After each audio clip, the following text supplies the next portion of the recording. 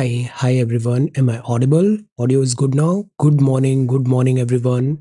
Good morning सभी को प्रातःकालीन नमस्कार अभी ठीक है audio is good now good morning good morning everyone good morning okay so today is 27th 28th of november 2023 the young man the young man knows the rules but the old man knows the exceptions experience counts Today we are going to talk about all these important topics in next about 40 to 45 minutes of time. Yes, आ गई है take very good care of yourself see a win and a lesson ये दोनों part of life है अगर life को हम birds eye view देखें हमारी लाइफ का so it is a sum total of several wins and several lessons so इनको विन्स एंड लेसन्स का सम टोटल देखना चाहिए लाइफ को बेसिक लाइफ का मैथ है enjoy the ride this is daily quiz question number one ये question number one है. The Marrakesh treaty is often seen in news is related to what ये Marrakesh treaty है. ये किससे related है? ये वाइपो से रिलेटेड है आईएमएफ से है United Nation environment programme UNEP UNDP yes so ये वाइपो है. वाइपो वाइपो क्या होता है? फुल फॉर्म भी बताइए. आईएमएफ है यूएनईपी है यूएनडीपी है यूएनडीपी अपन इंडियन पॉलिटी पढ़ रहे हैं ना, बहुत ज़्यादा, इसलिए सब लॉयर्स हो गए अब आजकल।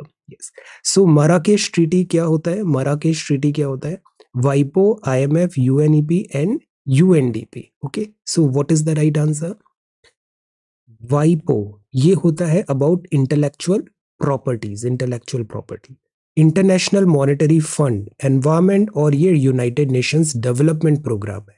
सो ये जो मराकेश ट्रीटी है this is very very important और ये है about वाइपो world intellectual property right organisation very good Priyanka this is question number two which of the following institutions was created through Versailles peace treaty so 1919 world war one जब end हुआ तो उसमें हुई थी वर्जाइल peace treaty और वर्जाइल peace treaty का एक end result था one of this institution ILO international labour organisation GATT जो बाद में डब्ल्यू बनेगा आईएमओ एंड आईएमएफ सो आपको बताना है, इनमें से कौन सा इंस्टीट्यूशन वर्जाइल पीस ट्रीटी का एक प्रोडक्ट है प्रोडक्ट है।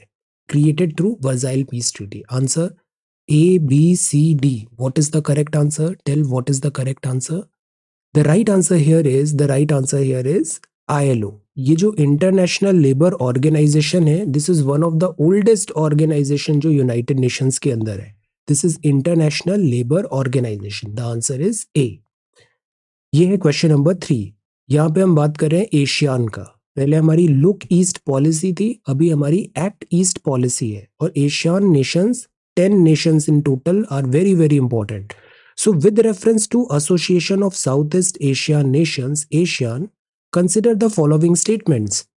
Brunei. Brunei is one of the member nations of Asia. Brunei तो हमने देखा था is in uh, Arab countries, no? Brunei Arab में होगा, no? Brunei sounds Arab Arab name, no? So Brunei is one of the member nations of ASEAN. It's secretariat is located in Manila Philippines ये Philippines है जहाँ पे international rice centre भी है वहाँ इसका सेक्रेटेरिएट लोकेटेड है one of its objectives is to promote South East Asian study ये तो बड़ा जनरल सा स्टेटमेंट है, सही होना चाहिए, इसको गलत नहीं कर सकते, कि एक ऑब्जेक्टिव है to promote South East Asian study so this has to be true this has to be true जो मनीला फिलीपींस है मनीला फिलीपींस में इसका सेक्रेटेरिएट है। Brunei is one of the member nations of ASEAN Brunei Darussalam no no this is not in Arab countries Arab nation में नहीं है, अरब nation नहीं है। ये जो ब्रुनई है, ये है अपना साउथ ईस्ट एशिया में। ये एशियन कंट्रीज़ का एक पार्ट है, एशियन नेशंस का एक पार्ट है। तो एशियन में टोटल टेन नेशंस हैं और Brunei is one of its part. So the right answer here is, जो सेकेंड स्टेटमेंट है, ये गलत है। क्योंकि सेक्रेटेरिएट लोकेटेड, नहीं, सेकेंड स्टेटमेंट जो है, सेकेंड स्टेटमेंट है, वो करेक्ट है। जो नहीं सेकेंड स्टेटमेंट गलत है ना, जकार्ता में है। It's not in Manila Philippines it is in Jakarta Indonesia में ऑब्जेक्टिव है promote South East Asian studies and Brunei is one of its member nation of ASEANs first और थर्ड करेक्ट है second wrong है। ASEAN का जो headquarters है secretariat है, वो जकार्ता में है इंडोनेशिया और जकार्ता डूब रहा है और एक जकार्ता को रिप्लेस करने के लिए नई कैपिटल आ रही है इंडोनेशिया की। न्यू कैपिटल आ रही है इंडोनेशिया की। ये क्वेश्चन नंबर फोर है। दिस इज़ मोजाम्बिक चैनल ये सारे channels straits they are very very important Mozambique channel is located in तो ये मोजाम्बिक है. Mozambique sounds like Atlantic ocean Indian ocean में है पैसिफिक ओशन में है अटलांटिक ओशन में है, या फिर ये बहुत साउथ में है तो इसको हम सदर्न ओशन बोलेंगे. मोजाम्बिक को बिकॉज़ अटलांटिक और इंडियन ओशन के नीचे सदर्न ओशन आता है. So Mozambique is very much in south so it will be considered in the southern ocean no no Mozambique जो है, वो इधर है मेडागास्कर और इधर अफ्रीका ये तो इधर मोजाम्बिक चैनल आता है। The right answer here is A Indian ocean है ये इंडियन ओशन ये क्वेश्चन नंबर फाइव है, यहाँ एक टर्म काफ़ी पॉपुलर हो रहा है और वो है visa shopping visa shopping so in the context of immigration immigration और एमिग्रेशन दो होते हैं इमी और एमी एमी में ई एक्स है ई है मतलब एग्जिट इमी में आए है मतलब incoming so in the context of immigration I लिखा हुआ है मतलब incoming in the context of immigration the term visa shopping refers to exploring different avenues for immigration based on visa availability assessing the suitability of a visa for a specific situation evaluating and comparing the benefits and requirements of different visas जैसे हम Henley का passport index देखते हैं different countries का visa ranking अलग रहता है। Passport index जो है पासपोर्ट का वैल्यू डिफरेंट होता है। So evaluating and comparing the benefits and requirements तो हम कॉस्ट बेनिफिट एनालिसिस करते हैं कि यहाँ का वीज़ा अच्छा है, इधर का उतना अच्छा नहीं है like that so evaluating and comparing the benefits and requirements of different visas तो हम शॉपिंग कर रहे हैं बिकॉज़ शॉपिंग में भी हम ऐसे ही कॉस्ट बेनिफिट एनालिसिस करते हैं obtaining visas for countries that an individual may or may not visit during the granted visa period. So, what is visa shopping? Visa shopping क्या होता है देखिए, ये नहीं होगा कि हम एक्सप्लोर कर रहे हैं different avenues for immigration based on visa availability तो it is not like window shopping ये नहीं है। Assessing the suitability of visa ये भी नहीं है। सी और डी में से अगर हम देखें तो D is the right answer it is not about cost benefit analysis requirements of different visas it is like कि आपने बहुत सारे वीजाज ले लिए बट द थिंग इज़ आप शायद उस कंट्री में कभी जाओगे भी नहीं। So obtaining visas for countries that an individual may or may not visit during the granted visa period जैसे ऑनलाइन शॉपिंग में भी ऐसा होता है ना एट टाइम्स भी purchase lots lot of things जो हमें रिक्वायरमेंट भी नहीं है, हम जस्ट उसको परचेज कर लेते हैं। So obtaining visas for countries जहाँ पे आप शायद जाओगे भी नहीं। So these are five M C Qs for today score बताइए आज का क्या रहा? What is the score for today similarly Telegram पे भी हमें five M C Q daily basis पे सॉल्व करने हैं। कुछ वर्ड्स हैं जो हम इंस्टेड ऑफ़ वेरी बार बार यूज़ कर सकते हैं। बार बार यूज़ नहीं करना चाहिए वेरी बार बार यूज़ नहीं करना चाहिए। For example if a person is very calm very calm तो हम उसको बोलते हैं सीरीन है। वेरी ईगर मतलब वो बहुत कीन है तो पढ़ाई के लिए हमें बहुत कीन होना चाहिए।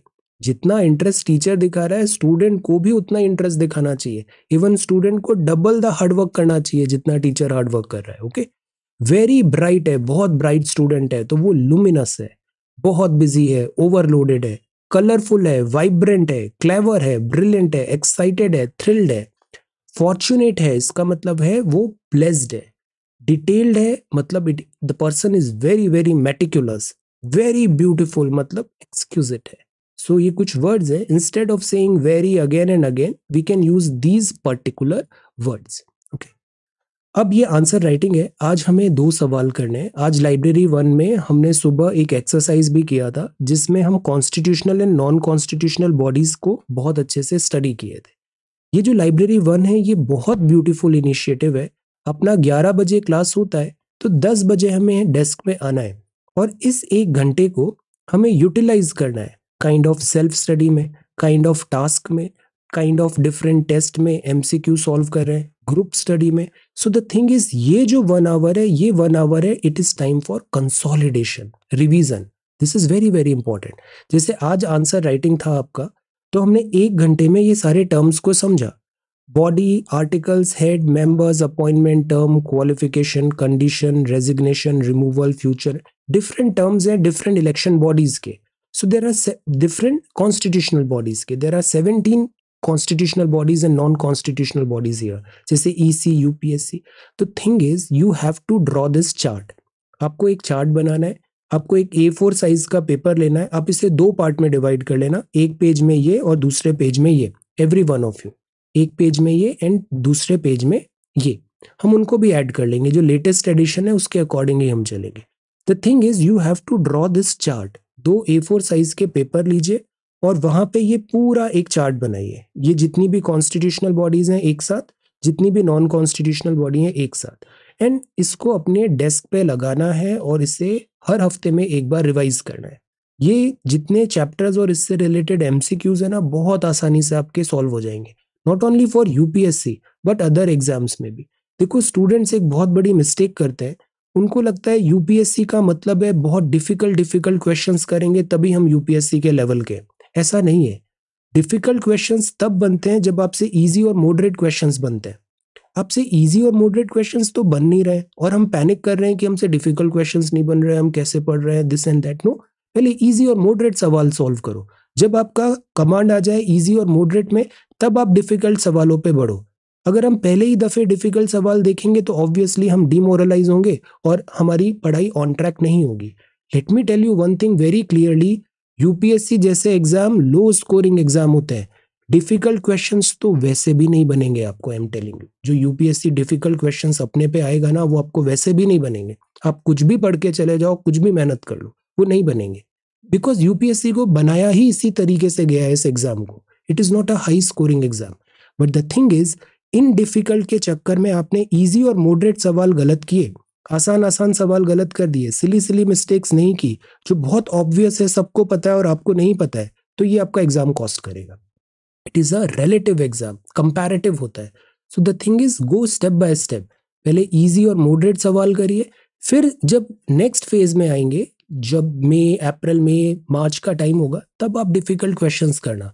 शुरू में डिफ़िकल्ट करोगे तो आप डिमोरलाइज हो जाओगे और वो उसका यूटिलिटी भी नहीं है इतना। नो सो पहले अपना फाउंडेशन अच्छा रखिए। स्टैंडर्ड बुक्स पढ़िए।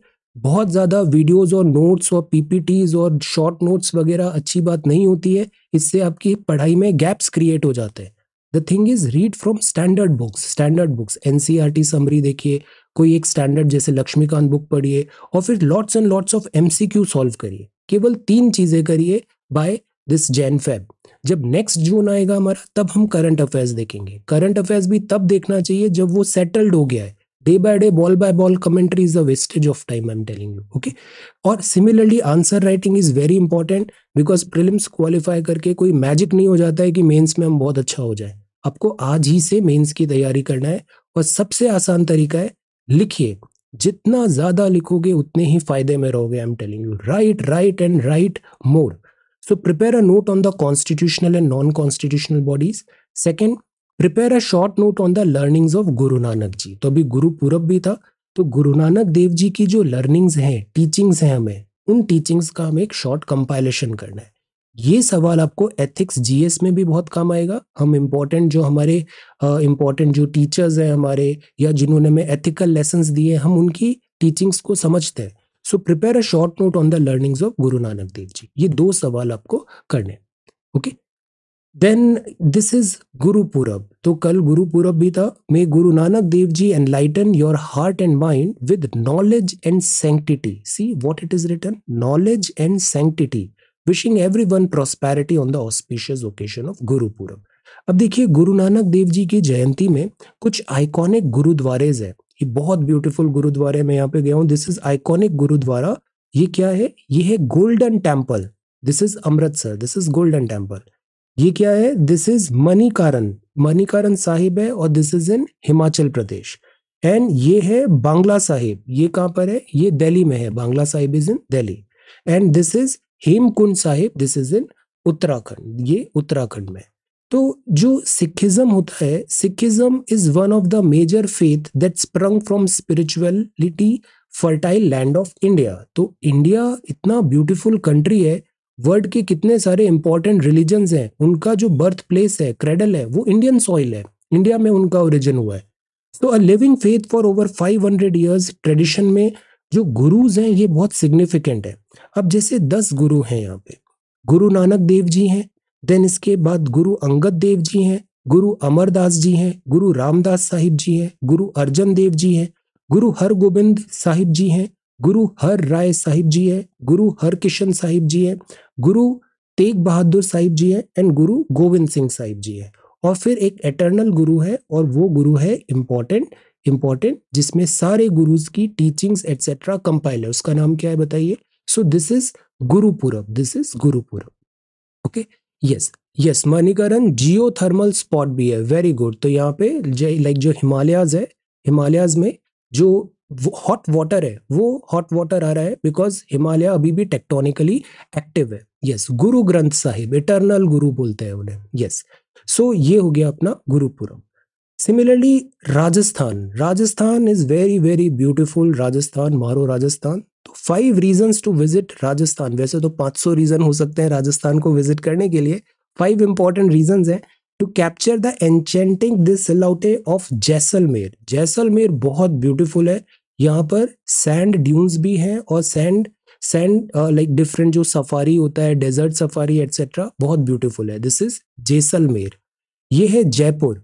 Explore the illuminated monuments of Jaipur और जयपुर का हवा महल। वेरी वेरी ब्यूटीफुल यहाँ पर वाइल्ड लाइफ भी है, जैसे ये सवाई माधोपुर है तो यहाँ पे आपको टाइगर भी मिलता है सवाई माधोपुर में टाइगर सिमिलरली जोधपुर है, Jodhpur is also very very elegant this is Jodhpur, और ये है उदयपुर लेक्स तो Rajasthan is known for tourism Rajasthan को जाना जाता है टूरिज़्म एंड टूरिज़्म एक्टिविटीज़ के लिए। दिस इज़ जन्म साखी जन्म साखी एक मैनुस्क्रिप्ट है, जो गुरु अंगद देव जी ने बनाया था। नेशनल म्यूज़ियम न्यू दिल्ली में आपको देखने को मिल सकता है। तो Sikhism holy books. Paschim Bangal का ये एक बहुत फ़ेमस नृत्य है क्या आप इसका नाम बता सकते हो। ये है घूमर, ये है गंभीरा दिस इज़ चरकुला और this is Kathakali so this is West Bengal West Bengal के different art forms dance forms West Bengal okay then इसके बाद है जीवी मावलंकर साहब जी के बारे में हम जानते हैं। GV Mavalankar ji Ganesh Vasudev Mavalankar ji. Freedom fighter थे और आप पहले स्पीकर थे लोकसभा के। तो जो स्पीकर होता है very important body so first speaker of the Lok Sabha of independent India थे आपकी बर्थ एनिवर्सरी में। तो ये जो स्पीकर होते हैं स्पीकर को क्या ज़रूरी है पार्लियामेंट का पार्ट बनना लोकसभा का पार्ट होना? क्या स्पीकर राज्यसभा से आ सकते हैं? स्पीकर राज्यसभा से आ, सकते हैं? Is it necessary for the speaker to be a part of the Lok Sabha? Second जो स्पीकर है, ये स्पीकर है, अगर स्पीकर लोकसभा में है तो ऑब्वियसली वो चुनाव जीत के आए हैं। सपोज़ वो किसी पॉलिटिकल पार्टी से चुनाव जीत के आते हैं और स्पीकर बनने के बाद वो उस पॉलिटिकल पार्टी से रिजाइन कर देते हैं। स्पीकर पॉलिटिकल पार्टी से रिजाइन कर देते हैं। बट यहाँ तो डिफेक्शन लग जाएगा शेड्यूल टेन तो क्या स्पीकर अगर पॉलिटिकल पार्टी से रिजाइन कर देते हैं? Because speaker has to be a neutral body no तो उस केस में क्या यहाँ एंटी डिफेक्शन लॉ लगेगा या नहीं लगेगा? और अगर लोकसभा में स्पीकर इज़ अ पार्ट तो लोकसभा में वोटिंग का अधिकार है या नहीं है स्पीकर को? Can speaker cast his or her vote in the Lok Sabha? Answer क्या वो लोकसभा में अपना वोट कास्ट कर सकते हैं? तो आप है देश के पहले स्पीकर जीवी मावलंकर साहब। पॉपुलरली आपको दादा साहिब भी बोलते थे। He was honoured with the title father of Lok Sabha आपका इंस्ट्रूमेंटल रोल है रूल्स प्रोसीजर्स पार्लियामेंट वर्क को एस्टेब्लिश करने के लिए। सो so, आप हैं जीवी मावलंकर साहब। शब्द कहाँ जो तुझको टोके हाथ कहाँ जो तुझको रोके राह वही है दिशा वही तू जिधर करे प्रस्थान अकेलेपन का बल पहचान। अभी I was talking to one student तो ही सेट की प्रिपरेशन में बहुत ज़्यादा आइसोलेशन टाइप फील हो रहा है, अकेले पढ़ रहे हैं। देखो, अकेला होना कोई वीकनेस नहीं होती। It requires lots of courage और केवल स्ट्रॉन्ग पीपल ही इंडिपेंडेंट और अकेले रह सकता है। जो पावर ऑफ़ सॉलिट्यूड है ना this is extraordinary extraordinary so शब्द कहाँ जो तुझको टोके, हाथ कहाँ जो तुझको रोके, राह वही है, दिशा वही तू जिधर करे प्रस्थान, अकेलेपन का बल पहचान। कभी डरना नहीं चाहिए अकेले रहने से। अकेले रहना is not a bad thing is not a bad thing preparation में कई बार आपको आइसोलेशन लगेगा। लाइफ में प्रिपरेशन में कुछ बैटल्स ऐसी होती है जो आपको अकेले ही लड़नी पड़ती है। So be brave be brave for what you stand for be bold for what you stand for embrace करो सॉलिट्यूड को ओके okay? और इसको अपनी वीकनेस नहीं, अपनी स्ट्रेंथ में कन्वर्ट करिए ओके अब ये है एमआईबी संध्या संवाद। तो द्रौपदी मुर्मू मैम ने यहाँ पे ग्रेस किया बोईता बंदाना बंदाना है। और ये सेरेमनी थी, ये थी पारादीप पोर्ट अथॉरिटी पारादीप उड़ीसा में। तो वर्चुअली इनोग्रेट किया मल्टी मॉडल लॉजिस्टिक पार्क भी वाटर ट्रीटमेंट प्लांट भी और पोर्ट टाउनशिप भी यहाँ पर बनाया। अब देखो, ये है port township urban local bodies port township yes नहीं, देखो ग्रुप में रहना एक बात होती है but there are certain ways जिसमें हमें अकेलेपन से भी नहीं डरना चाहिए। ग्रुप में रहने का मतलब ये नहीं है कि आप आइसोलेशन में जा रहे हो। आइसोलेशन का मतलब ये नहीं है कि आप ग्रुप में नहीं रह पा रहे हो, आप अपने साथियों के साथ नहीं रह पा रहे हो। द थिंग इज़ कि जब ये टेंडेंसी आने लग जाए कि हम अलोन रहने से डर रहे हैं, इस टेंडेंसी के लिए ये बात कही गई है, इस टेंडेंसी के लिए। आपको प्रिपरेशन करना है, आप ग्रुप में रहो, पर जब आप एग्ज़ाम हॉल में बैठोगे जब आप एग्ज़ाम हॉल में बैठोगे आप अकेला एग्ज़ाम लिखोगे। सो अकेले रहने से नहीं डरना है अकेले रहने से नहीं डरना है। बैलेंस बना के रखना है। प्रिपरेशन कर रहे हैं सब कर रहे हैं। पर एग्ज़ाम आप लिखोगे आप अकेले एग्ज़ाम लिखोगे। गोले जो भरोगे वो अकेले गोलो भर, भरोगे। वहाँ का जो प्रेशर है वहाँ का जो स्ट्रेस है उसको हैंडल करोगे उसको आप अकेले हैंडल करोगे। सो द थिंग इज़ कि अकेले रहने से भी डरना नहीं चाहिए। ग्रुप में रहने से भी नहीं डरना चाहिए।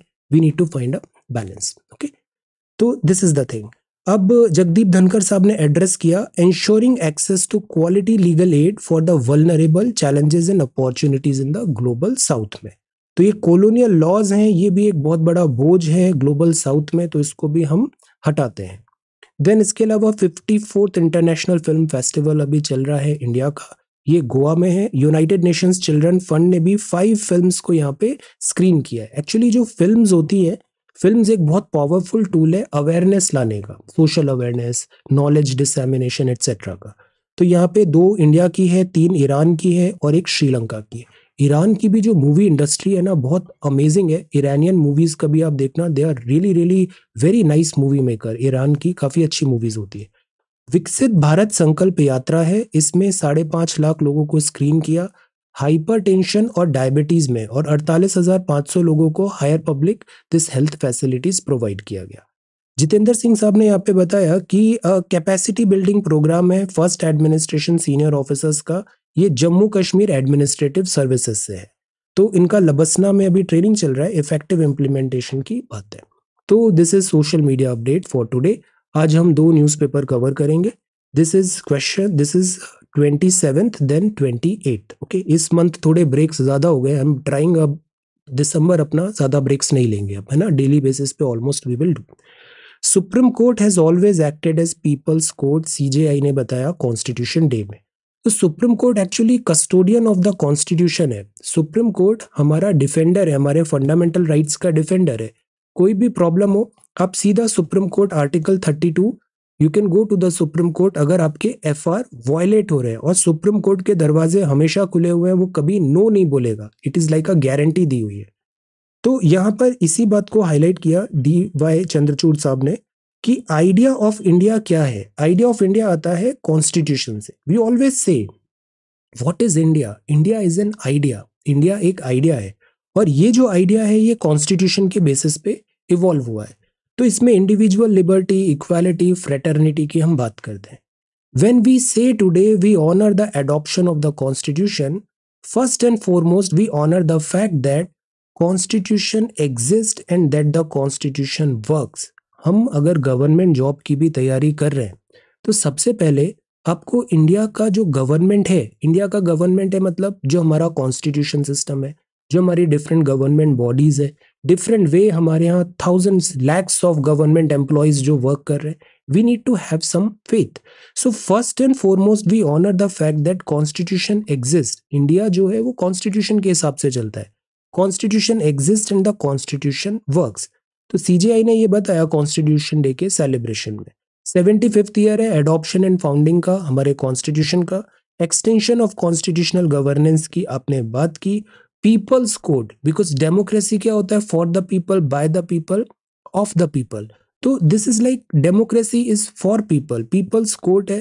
थाउजेंड्स ऑफ़ सिटीजन्स ने अप्रोच किया है डोर्स ऑफ़ सुप्रीम कोर्ट को और जस्टिस वहाँ पे डिलीवर किया गया है। So the thing is citizens no matter who they were और where they came from could simply write to the CJI to set into motion the constitutional machinery of the Supreme Court to get justice but letter लिखने का मतलब ये नहीं है कि UPSC में कोई सवाल आ जाए और हम सीधा सीजेआई को ट्वीट्स और लेटर लिखने लग जाए। ऐसा एक बार हुआ था इन दी पास्ट एक क्वेश्चन आया था कि who is the custodian of the constitution who is the custodian of the constitution उसमें दो ऑप्शन थे। एक ऑप्शन था प्रेसिडेंट ऑफ़ इंडिया और एक ऑप्शन था सुप्रीम कोर्ट तो अब यूपीएससी ने सवाल पूछ लिया who is the custodian of the constitution और उसी टाइम पे प्रणब मुखर्जी साहब थे, वो प्रेसिडेंट थे। और प्रणब मुखर्जी साहब ने एक स्टेटमेंट में ऐसा बोला था कि प्रेसिडेंट की भी ज़िम्मेदारी है कॉन्स्टिट्यूशन को अपहोल्ड करना। तो बच्चे सब ट्वीट करने लग गए, हर जगह टैग कर रहे हैं प्रेसिडेंट ऑफ़ इंडिया के ऑफिशियल हैंडल को लेटर्स लिख रहे हैं कि please tell are you the custodian of the constitution जो चीफ जस्टिस ऑफ़ इंडिया है, उनको लेटर लिख रहे हो please clarify are you the custodian of the constitution so this is the way so this is India India में people's court है। This is again a good thing कि एक ordinary citizen India के first first person से communicate कर पा रहा है चीफ जस्टिस ऑफ़ इंडिया से कम्युनिकेट कर पा रहा है फ्री एंड फेयर मैनर में। This is a really good thing ये फिफ्टींथ डे है, इसमें थोड़ा सा डिले हो रहा है। We need to be strong and हमें हंड्रेड परसेंट हमारे एफर्ट्स डालने चाहिए, सारे ऑप्शंस ओपन रखने चाहिए। एक्सपर्ट्स यहाँ पर हंड्रेड परसेंट अपना यहाँ पे डिलीवर कर रहे हैं। We will have good news very very soon then this is world climate action summit है।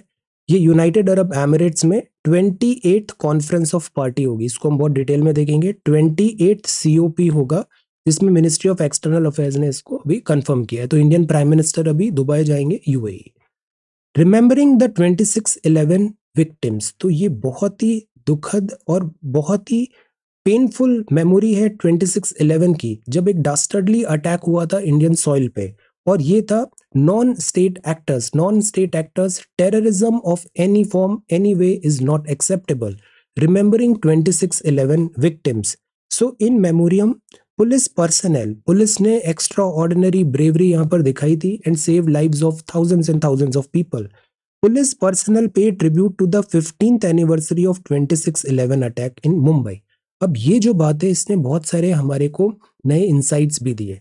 कि जो हमारी कोस्टल सिटीज़ हैं, हम इनको कैसे प्रोटेक्ट करें? क्योंकि जो मुंबई अटैक हुआ था, वो ऑब्वियसली पाकिस्तान के वाया यहाँ पे जो हमारा कोस्टल सेफ्टी था, हम इसमें लैप्स कैसे हुआ? This is the thing so the thing is कि हमें that is why surveillance and security specially जो coastal cities and coastal areas है, इसको अप करने की ज़रूरत है।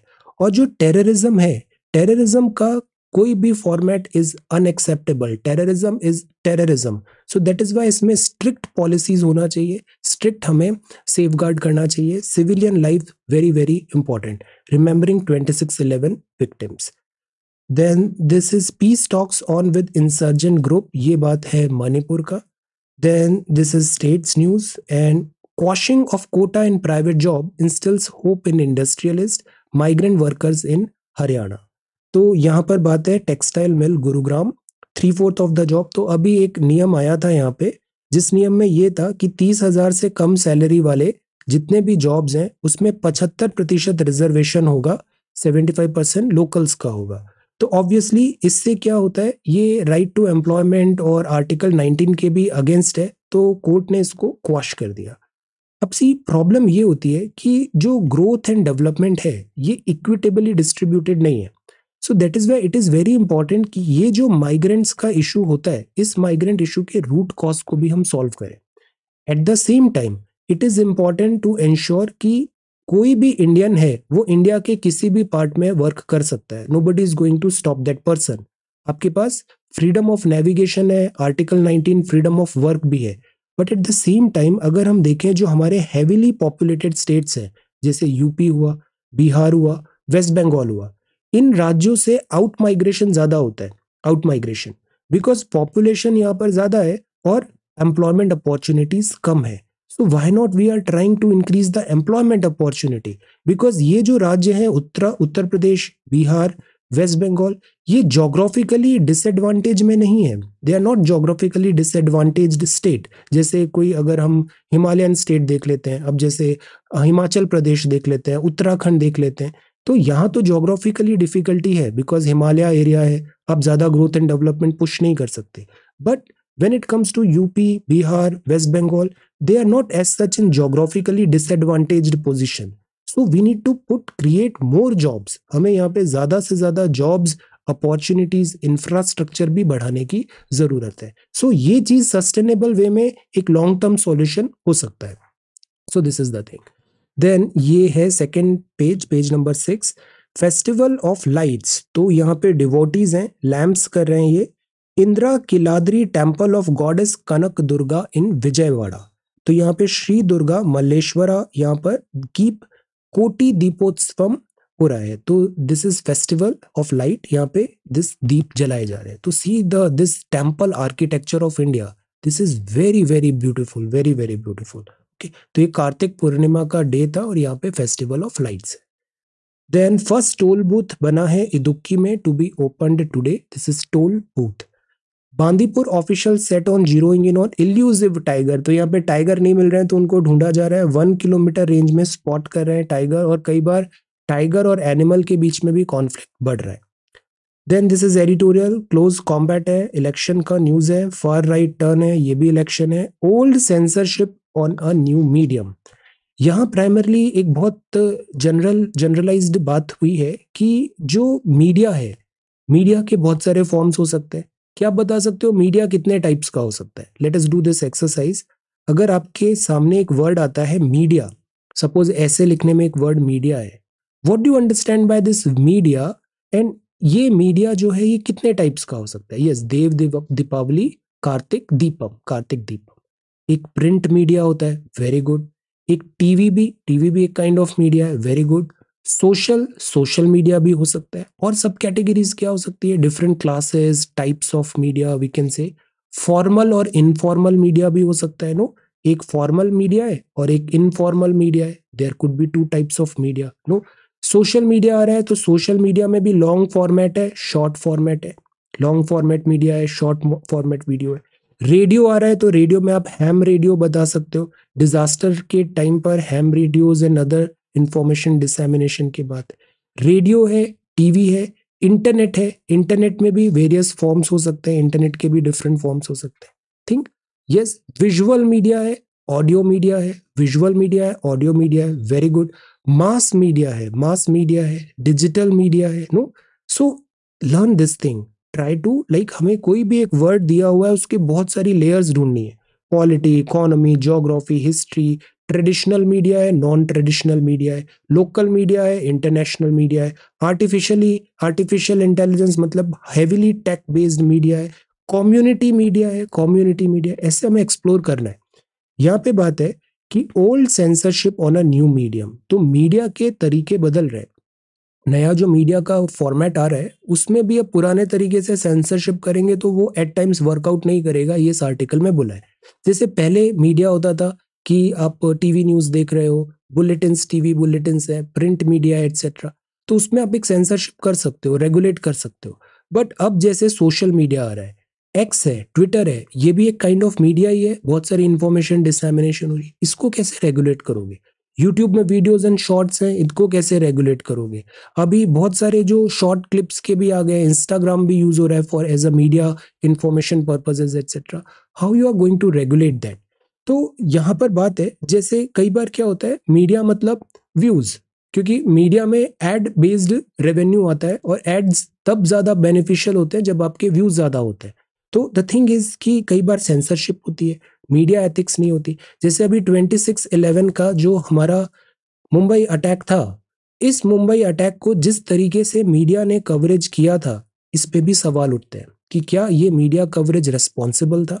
क्या ये मीडिया कवरेज हमें बैकफायर तो नहीं कर दिया कि हम लीकिंग कर रहे हैं इन सेंसिटिव इन्फॉर्मेशन को? क्या मीडिया कवरेज बहुत ज़्यादा हाइप तो क्रिएट नहीं कर रहा है? अननेसेसरी पैनिक तो क्रिएट नहीं कर रहा है? जैसे अभी ये जो टनल का भी वर्क है so we need to be little bit mature and sensible because यहाँ पे forty one live are involve and forty one live के साथ साथ उनके फैमिली भी हैं। So there are so many people involve and everybody is panicked हर किसी में एक एप्रीहेंशन है पैनिक है। सो मीडिया एथिक्स कैसे होने चाहिए यहाँ पे? कि हम हर चीज़ को सेंसेशनलाइज नहीं करें। So this is the thing Uttarkashi में हुआ। अब इसमें अब गवर्नमेंट अगर मीडिया को स्टॉप करेगी from reaching to the site या ग्राउंड रिपोर्ट देने के लिए तो फिर क्या ये गवर्नमेंट का सेंसरशिप हो जाएगा? गैग हो जाएगा? नो तो देर फोर एक बहुत फाइन लाइन है, जिसमें ज़रूरी है गवर्नमेंट रेगुलेशन भी at the same time self regulation भी सेल्फ रेगुलेशन भी। देखिए एथिक्स हमें ये बताते हैं स्पेशली आप लोग जिस एग्ज़ाम की तैयारी कर रहे हो, इसमें बीइंग अ सिविल सर्वेंट आपके पास बहुत सारी डिस्क्रिशनरी पावर रहेगी। डिस्क्रिशनरी पावर मतलब ये आपके हिसाब से होगा। आप जवाबदेही नहीं है। आपके हिसाब से डिसीज़न मेकिंग आपको लेना होगा। कोई नियम कोई प्रेसिडेंस नहीं है। बहुत सारे लूप होल्स भी होते हैं गवर्नमेंट के जो रूल्स होते हैं उसमें लूप होल्स भी होते हैं। सो so, अगर आप एथिकल हो अगर आप ethical you are a ethical person आपको पता है ये एक लूप होल है। बट लूप होल है मतलब मैं इसका मिसयूज भी कर सकता हूँ इसका अनफेव अन लाइक रीजनेबल एडवांटेज भी उठा सकता हूँ मैं। But the thing is if you are an ethical person you will not do that तो लूप होल्स का मतलब ये नहीं होता है कि if you know the loopholes then you go on and exploit that thing the thing is कि हमें एक सेल्फ कंट्रोल भी होना चाहिए कि यस वी नो कि we can exploit it we can take unfair advantage but we are not going to do that because this is wrong this is unethical this is what we need तो media को government regulate करे, इससे बेहतर होगा media और हमारा जो behaviour है, उसको हम सेल्फ रेगुलेट करें।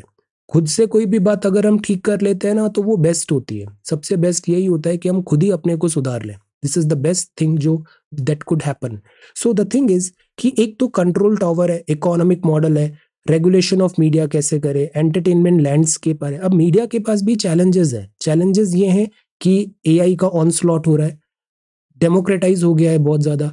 रेवेन्यू श्रिंक हो रहा है स्पेशली जो प्रिंट मीडिया है। पायरेसी बहुत ज़्यादा हो रही है तो उनको रेवेन्यू नहीं आ पाता है पायरेसी हो जाती है बहुत ज़्यादा। सो द थिंग इज़ कि हमें एक सस्टेनेबल वे में लाना होगा चीज़ों को। तो इसलिए कंट्रोल टावर जैसे ब्रॉडकास्टिंग सर्विसेज़ रेगुलेशन बिल आया। इस बिल में क्या बात थी कि जो भी मीडिया इंफॉर्मेशन डिसमिनेट कर रहा है, उसको रेगुलेट करेंगे हम। टीवी चैनल्स को सेल्फ रेगुलेटरी बोला। मॉडर्नाइज करने की ज़रूरत है। केबल टेलीविज़न नेटवर्क है जो टीवी न्यूज़ मीडिया पे चलता है। तो द थिंग इज़ जैसे अभी भारतीय क्रिमिनल जस्टिस प्रपोजल है, अभी जो तीन संहिता भी आ रही है, इसमें बहुत सारे जो प्रोविजंस हैं, वो मीडिया की अकाउंटेबिलिटी इंश्योर करने के लिए भी बात है। कई बार कल्चरल इन्वेजन देखने को मिलता है इंडियन वैल्यूज़ है, उसको किस तरीके से दिखाया जा रहा है नैरेटिव बनाया जा रहा है प्रोपोगेंडा एट टाइम्स हो जाता है। So the thing is good test में regulation is okay self regulation is any day better cable television networks rule 2021 भी है जो सेल्फ रेगुलेशन की बात करते हैं। अब एक और बात आती है फैक्ट चेक की। द थिंग इज़ जो पर्सन फैक्ट चेक कर रहा है, उस पर्सन की क्या क्रेडिबिलिटी है? क्या यहाँ पर बायसनेस नहीं आ सकती?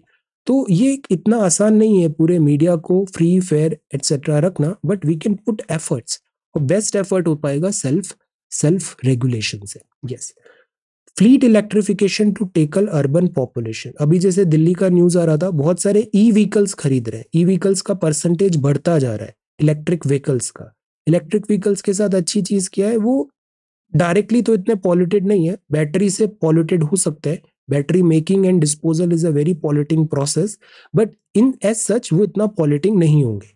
एटलीस्ट सिटी में नहीं होंगे। तो fleet electrification to tackle urban population ए बढ़ रहा है और हम ज़्यादा से ज़्यादा ग्रीन फ्रेट कॉरिडोर बना रहे हैं इंफ्रास्ट्रक्चर बढ़ा रहे हैं ऑन्टरप्रनोरियलशिप को भी हम बढ़ा रहे हैं और truck electrification is next big thing trucks क्योंकि ये जो डीजल के ट्रक्स होते हैं ना, ये काफ़ी पॉल्यूटिंग होते हैं तो हम लॉन्गर रन में ट्रक्स को भी इलेक्ट्रीफाई करेंगे। This is moulding the Himalayas needs caution Himalaya में जो अभी चार धाम प्रोजेक्ट इसका काफ़ी क्रिटिसिज्म हो रहा है बट ये ज़रूरी भी था बिकॉज़ इसका स्ट्रैटेजिक इंपॉर्टेंस है। तो ई e के अंदर हमने चार धाम को सर्टन जो रोड को चौड़ा किया जा रहा है, उसको रिलैक्सेशन दिया हमने। तो इसमें चार रिलीजियस पिलग्रम्स हैं हमारे, गंगोत्री, यमुनोत्री, बद्रीनाथ एंड केदारनाथ। तो ये चार धाम है, इनको रोड के थ्रू ऐसे कनेक्ट किया जा रहा है। तो इंडियन हिमालयन रीजन ने यहाँ पे ये बताया अभी कि डिफिकल्टीज क्या है रोड्स को चौड़ा कर रहे हैं। अब देखो हिमालय का जो जेनेसिस है Himalaya is still very tectonically active और इट इज़ नॉट स्टेबल तो हम टनल बनाते हैं और टनल ऐसे कोलैप्स हो जाती है जैसे अभी जो केस हमने देखा। प्लस अगर हम रोड बना भी देते हैं तो वहाँ पे भूस्खलन हो जाता है। हम डिफॉरेस्टेशन कर देते हैं तो उससे वाटर का फ्लो बढ़ जाता है और लैंडस्लाइड्स होने लग जाते हैं। जोशीमठ जैसा केस आ रहा है जिसमें पूरा पूरा जो हिल है वो ही नीचे सबसाइड करता जा रहा है। सो so, वो भी अगेन टनल उससे लिंक्ड है एनटीपीसी का tunnel so the thing is कि कैरिंग कैपेसिटी क्या है हिमालय की?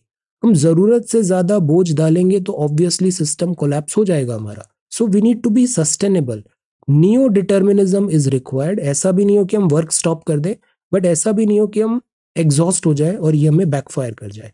तो अगेन रेगुलर टॉक्स है। इन टॉक्स को आगे हम एडिटोरियल में भी देखेंगे। बॉर्डर रोड ऑर्गेनाइजेशन और प्रधानमंत्री ग्रामीण सड़क योजना। ये रोड्स बना रहे हैं हिमालयन स्टेट्स में बट यहाँ पर ज़रूरी होगा कि हम इंजीनियरिंग साउंड रखें और ओवरबर्डन नहीं करें हिमालय को। जब एनवायरमेंटल इम्पैक्ट असेसमेंट की बात आती है तो किसी भी प्रोजेक्ट से पहले उसको स्टडी किया जाता है कि ये फिजिबल है या नहीं है, या कितना एनवायरमेंट का इसका लॉस होगा।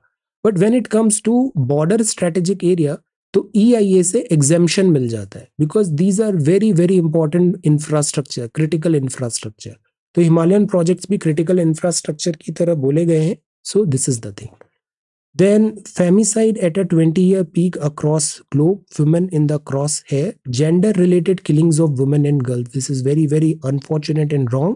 ये चीज़ है United Nations office on drugs and crimes ने यहाँ पे बताया है। तो जेंडर बेस्ड वायलेंस है और this is the thing yes stereotype कर रहे हैं। तो हमें इस इस एक मैनेस को भी सॉल्व करना है।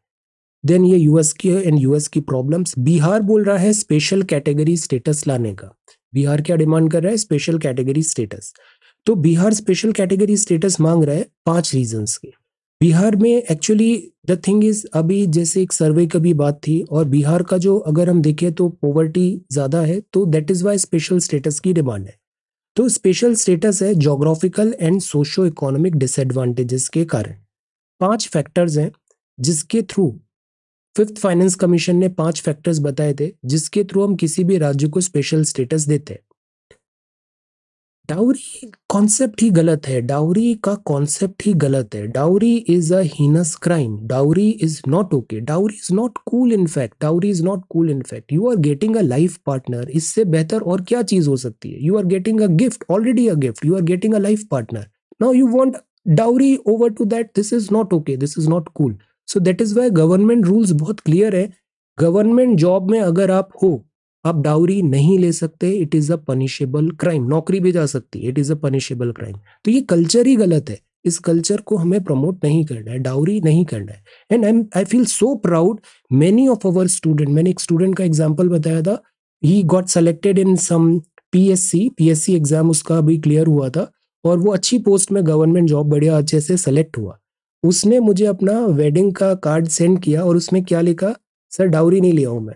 आई फील सो गुड इतना अच्छा लगा। So this is how we need to promote जो न्यू जनरेशन है, वो इसको आगे बढ़ा सकती है। जो न्यू जनरेशन है, वो इसको आगे बढ़ा सकती है। So this is what we need to do dowry is not good dowry is not good okay so five factors है।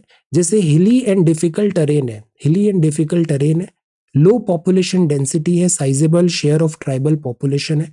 Strategic location along international borders है इकोनॉमिक एंड इंफ्रास्ट्रक्चरल बैकवर्डनेस है non viable nature of state finance are considered before granting special status तो जिन राज्यों को special status दिया जाता है, उनमें ये चार पाँच बातें होनी चाहिए। या तो बहुत हिली एरिया है, उत्तराखंड है, Uttarakhand is very hilly very difficult growth and development हो ही नहीं सकता मास स्केल में। पॉपुलेशन डेंसिटी बहुत कम है, जैसे अरुणाचल हो गया। स्ट्रैटेजिक लोकेशन है उसकी। इकोनॉमिक या इंफ्रास्ट्रक्चर बैकवर्डनेस है वहाँ पे, या फिर वहाँ पे फाइनेंस नॉन वायबल टाइप के हैं तो उन राज्यों को हम स्पेशल स्टेटस देंगे। ऐसा नहीं कि हर राज्य को देंगे। तो ऐसे करके हमने जम्मू कश्मीर, असम, नागालैंड, फिर बाद में अरुणाचल, मणिपुर, मेघालय, मिजोरम, सिक्किम, त्रिपुरा, हिमाचल, उत्तराखंड, इन सबको स्पेशल स्टेटस की कैटेगरी में डाला। और इससे फ़ायदा क्या होता है? इससे फ़ायदा ये होता है कि गाडगिल मुखर्जी कमेटी ने बोला था, तीस प्रतिशत ऑफ़ सेंट्रल असिस्टेंस मतलब सेंटर के पास सौ रुपए तो तीस रुपए कम से कम इन राज्यों के पास जाएँगे। और इसके अलावा यहाँ पे प्लानिंग कमीशन ने भी बोला स्पेशल एम्फेसिस होगा डिवोल्यूशन ऑफ़ फंड भी हमने 41 परसेंट कर दिया है 32 से बढ़ाकर। सेंट्रली स्पॉन्सर्ड स्कीम अब देखो, एक होती है सेंट्रल सेक्टर स्कीम एक होती है central sponsored scheme central sponsored मतलब कुछ पैसा राज्य देगा, कुछ पैसा केंद्र देगा। तो वो एस में नब्बे टू दस का रेशियो है। मतलब नब्बे पार्ट केंद्र देगा, दस पार्ट राज्य देगा। साठ इस टू चालीस भी है कुछ स्पेशल कैटेगरी के स्टेटस में। तो यूजुअली ये फिफ्टी फिफ्टी होता है but in some states it's over ninety ten and sixty forty तो बिहार बोल रहा है कि यहाँ पे पोवर्टी एंड बैकवर्डनेस है नेचुरल रिसोर्सेज नहीं है continuous supply of water for irrigation है रेगुलर फ्लड्स आ जाते हैं ड्रॉट्स एक बहुत बड़ा प्रॉब्लम है, फिर झारखंड अलग हो गया है तो उससे एम्प्लॉयमेंट इन्वेस्टमेंट अपॉर्चुनिटी कम हो गई। पर कैपिटल जीडीपी भी चौवन हज़ार के पास में ही है तो which is like one of the poorest state so that is why Bihar demand कर रहा है कि हमें भी स्पेशल स्टेटस दे। अब ये जस्टिफिकेशन क्या होगा, ये अभी हम कमेटी में देखेंगे।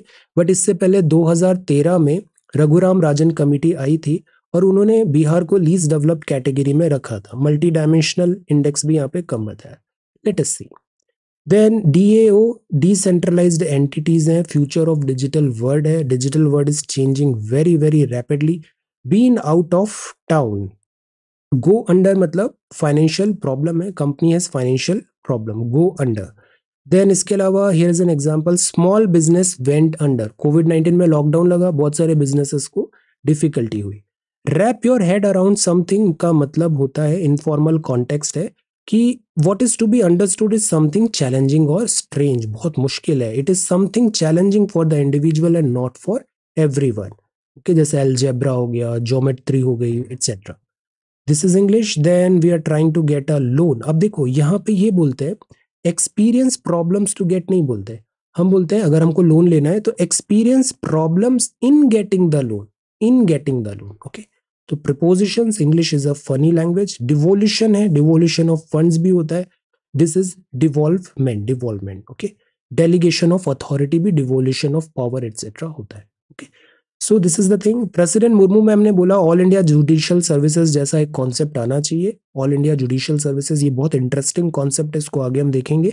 तो इससे बेटर लाइक सोशल ग्रुप्स भी बेटर रिप्रेजेंटेटेड होंगे और ओवरऑल जुडिशियल सिस्टम हमारा बेटर वर्क कर पाएगा। तो ऑल इंडिया जुडिशियल सर्विसेज़ का ऐसा कुछ सिस्टम लाने की बात है। पार्लियामेंट सुप्रीम है धनकर साहब ने बताया कॉन्स्टिट्यूशन डे में parliamentary wisdom bill bars courts from inquiring into privilege communication between ministers president see president को जो भी सलाह देते हैं मिनिस्टर्स तो वो जो सलाह होती है, वो सुप्रीम कोर्ट में जाँच पे नहीं जा सकती है। प्लस वहाँ पे उसको एज ए एविडेंस भी प्रूव नहीं किया जा सकता है। तो ये कलेक्टिव और इंडिविजुअल प्रिविलेजेस होती है। भारतीय साक्ष्य संहिता में एक रिप्लेस करने की बात है एविडेंस एक्ट 1872 को। It bars the courts from inquiring into any privilege communication between ministers and the president of India जो कम्युनिकेशन हो रहा है मंत्री और भारत के राष्ट्रपति के बीच में, उनके बीच का जो भी कम्युनिकेशन है वो कोर्ट में नहीं जाएगा। 74 कॉन्स्टिट्यूशन का आर्टिकल भी बोलता है लीगल बैकिंग है। Legal backing it part of the evidence book see seeks to give it legal backing by making it part of the evidence book because president और काउंसिल ऑफ़ मिनिस्टर का जो relation होता है बहुत fiduciary relation again होता है। तो it is not like कि you can take it to the court privileged communication होता है, इसको प्रिविलेज्ड कम्युनिकेशन बोलते हैं। पीडीटी आचार्य साहब ने भी यही बताया कि जो भी सलाह काउंसिल ऑफ़ मिनिस्टर प्रेसिडेंट को देते हैं, वो कोर्ट इंक्वायर नहीं कर सकती। It cannot be inquired by the court similarly एक सौ पैंसठ जो सेक्शन है, वो बोल रहा है production of documents on the other orders of a court summon to produce a document shall if it is in the possession of power bring it to the court notwithstanding any objection which there may be to produce admissible let us see तो ये साक्ष्य जो है अपना Indian evidence act इसमें changes आ रहे हैं। अभी हाल ही के अगर आपसे सवाल पूछा जाए तो आप यही बोलोगे कि जो भी इंफॉर्मेशन एक्सचेंज होता है, वो कोर्ट में इंक्वायर नहीं होता देखो, एक चीज़ और ध्यान रखना है। कई बार हम ऐसे स्टेटमेंट्स भी देख लेते हैं फॉर एग्ज़ाम्पल हम किसी ऑफिशियल uh, पोस्ट पे कोई पर्सन है उनका स्टेटमेंट भी देख लेते हैं। बट एज सच जब एग्ज़ाम पॉइंट ऑफ़ व्यू की बात आती है तो एग्ज़ाम पॉइंट ऑफ़ व्यू में जो आपका जो स्टैंडर्ड बुक्स में लिखा है ना वही सही है। जो स्टैंडर्ड बुक्स मतलब एनसीईआरटी में जो लिखा है और जो ट्रेडिशनली हम अपनी स्टैंडर्ड बुक्स में जो पढ़ते हैं exam point of view I am not going into this debate कि वो सही है या गलत है। But exam point of view से जो आपकी एनसीईआरटी में लिखा है जो अपनी स्टैंडर्ड विजडम है स्टैंडर्ड बुक्स में जो लिखा होता है वो ही सही माना जाता है एग्ज़ाम पॉइंट ऑफ़ व्यू से। ओके तो यूनियन होम सेक्रेटरी ने भी ये बताया कि इंडियन एविडेंस एक्ट में कुछ चेंजेस आएँगे। कुछ जैसे वकील प्लीडर बैरिस्टर को रिप्लेस कर दिया है एडवोकेट से। सेक्शन 66 में पावर ऑफ़ जूरी भी चेंज कर दिया। अभी अलग अलग वर्ड है। जैसे एडवोकेट वो होता है जो रजिस्टर्ड होता है बार काउंसिल में। लॉयर वो होता है जिसने लॉ पढ़ा हुआ है। वर्ल्ड क्लाइमेट एक्शन है। दुबई में होगा ये वर्ल्ड आज का पेपर बहुत लेंदी था ना। कल का पेपर बहुत लेंदी था। वर्ल्ड क्लाइमेट एक्शन समिट अभी दुबई में स्टार्ट हो रहा है। इसमें हम पंचामृत पे अभी भी स्टिक करेंगे। पंचामृत मतलब नेट ज़ीरो 2070 तक 500 गीगावाट का एनर्जी इंस्टॉलेशन करना है हमें। नॉन फॉसिल फोर्सेस को बढ़ाना है सोर्सेस को कार्बन एमिशन को कम करना है। इकोनॉमी को ज़्यादा से ज़्यादा ग्रीन इकोनॉमी करना है। ऐसे करके हम बात कर रहे हैं। Yes yes. हाँ वेरी गुड डिस्क्रिशनरी अब जैसे जैसे डिस्क्रिशनरी भी बात है, ओम तो डिस्क्रिशनरी भी जो चीज़ है, जैसे अभी डिसीज़न आ गया कि गवर्नर का डिसीज़न डिस्क्रिशनरी है या नहीं है when it comes to bills but अगर हम constitution regular Laxmikanth and NCERT देखते हैं तो वो डिस्क्रिशनरी पावर बोलते हैं। सुप्रीम कोर्ट ने बोला वो डिस्क्रिशनरी नहीं होगा, वो जो काउंसिल ऑफ़ मिनिस्टर बोलेंगे वही काम करना पड़ेगा। तो थोड़ा सा वेट करते हैं। अभी इन सारे जो मैटर्स है ना, इन पे हम अभी एक ओपिनियन बनाएँगे। Okay then this is the thing next है देन यहाँ पे Mumbai terror attack victims and brave hearts को मैच था यहाँ पे। Then day time removing this supply demand का ग्रैप है सेवन ईयर्स रशिया ने मेटा स्पोक्स पर्सन को बताया चाइना दिस जापान का समिट है। चाइना में फिर से एक नया डिसीज आ रहा है respiratory illnesses see this is China attributes familiar causes to respiratory illnesses Chinese fighter jets orbit कर रहे हैं फिलिपिन पेट्रोल एयरक्राफ्ट को और चाइना म्यांमार में भी डिफिकल्टी है border crossing from Myanmar junta तो मतलब चाइना इज़ कॉमन जब डिफिकल्टीज आती है तो one name is very common plans warn each other of danger and now we can watch them तो सी प्लान्स भी कम्युनिकेट करते हैं कम्युनिकेट करते हैं। फॉर द फ़र्स्ट टाइम अभी हमने ये विजुअलाइज किया, जैसे आप घास काट रहे हो। तो एक पर्टिकुलर ओडोर निकलता है, एक पर्टिकुलर स्मेल आता है, जो हमें वेरी प्लीजेंट लगता है प्लीजिंग लगता है। बट ये जो ऑर्डर होता है स्मेल होता है, ये बाकी ग्रासेस को वॉर्न कर देता है कि see some threat is here so take necessary action ये अपना डिफेंस मैकेनिज्म एक्टिव करो। तो इस तरीके से प्लांट्स वॉर्न करते हैं each other of danger now we can watch them तो ये इनका कम्युनिकेशन का तरीका होता है। ग्रीन लीफ जो वोलाटाइल होती है, जैसे ट्रीज भी कम्युनिकेट करते हैं विद लाइक स्मेल या एक सर्टेन वो सीक्रेशन ऑफ़ सर्टेन लिक्विड है तो दे ट्राई टू कम्युनिकेट तो अभी इसी पे स्टडी किया नेचर कम्युनिकेशन में और यहाँ पे ये बताया कि किस तरीके से ये आपस में इंटरेक्ट करते हैं। तो दिस इज़ द थिंग ये है फीजो इलेक्ट्रिसिटी फीजो इलेक्ट्रिसिटी क्या होती है? कुछ सब्सटेंस होते हैं, जैसे क्वार्ड्स हो गया सेरेमिक हो गया लेड जिरकोनेट टाइटनेट हो गया पीजेड ये ऐसे सब्सटेंस होते हैं जब इनको दबाया जाता है या डिफॉर्म किया जाता है तो इससे बिजली पैदा होती है इलेक्ट्रिसिटी आती है। तो इनको फीजो इलेक्ट्रिक बोलते हैं फीजो इलेक्ट्रिक तो फीजो इलेक्ट्रिक क्या है? जैसे लाइटर हमने देखा है ever looked inside a stove lighter तो स्पार्क कहाँ से आ रहा है? स्पार्क क्रिएट हो रहा है फीजो इलेक्ट्रिसिटी से। फीजो इलेक्ट्रिसिटी एक फिनोमिनन है जिसमें क्वाड सेरेमिक लेड जर्कोनेट होते हैं। कई बार biological substance bone and tendons में भी देखने को मिलता है। जब भी वो मैकेनिकल स्ट्रेस में आते हैं मैकेनिकल स्ट्रेस तो वहाँ पे जो उनका क्रिस्टल इस तरीके से कि चार्ज सेपरेशन होता है और इलेक्ट्रिसिटी फॉर्म होता है। तो whenever stress is apply distort किया असिमेट्री किया तो इलेक्ट्रिक करंट जनरेट होता है।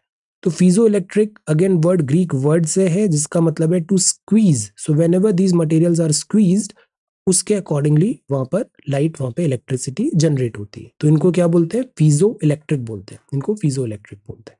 ओके ये सैटेलाइट है लेटेस्ट आइसबर्ग है अंटार्कटिका में आइसबर्ग जो है, वो श्रिंक हो रहे हैं।